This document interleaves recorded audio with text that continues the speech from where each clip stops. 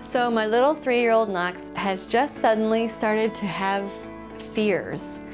And it's kind of sad because he's just lived in this life of bliss so far.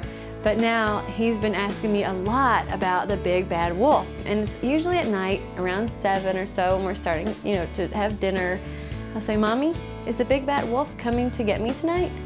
And I'll say, no, Knox. It, it breaks my little heart because I, I think about my guy and I don't want him to be scared of anything. And my sister had a brilliant idea. She's here visiting. And last night she took Knox outside when he was asking about the big bad wolf.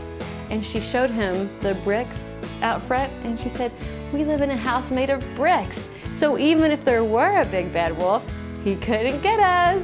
And Knox was like, yeah, we have the strongest house. And I said, yeah. And he said, we're the cleverest pigs. I said, we are. So that was a brilliant way to kind of move him beyond the big bad wolf.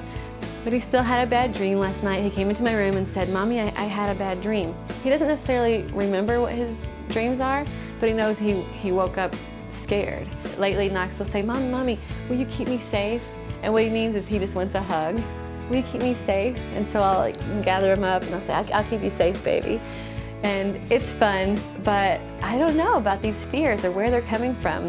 So I'd love to hear from you. I'd love to hear if your little toddlers are having any fears or nightmares, and I'd love to know what you're doing to help soothe them and to help make them feel like everything's gonna be okay. Leave comments for me in the space below. Check me out online Facebook, Twitter, Pinterest, and subscribe. Thanks.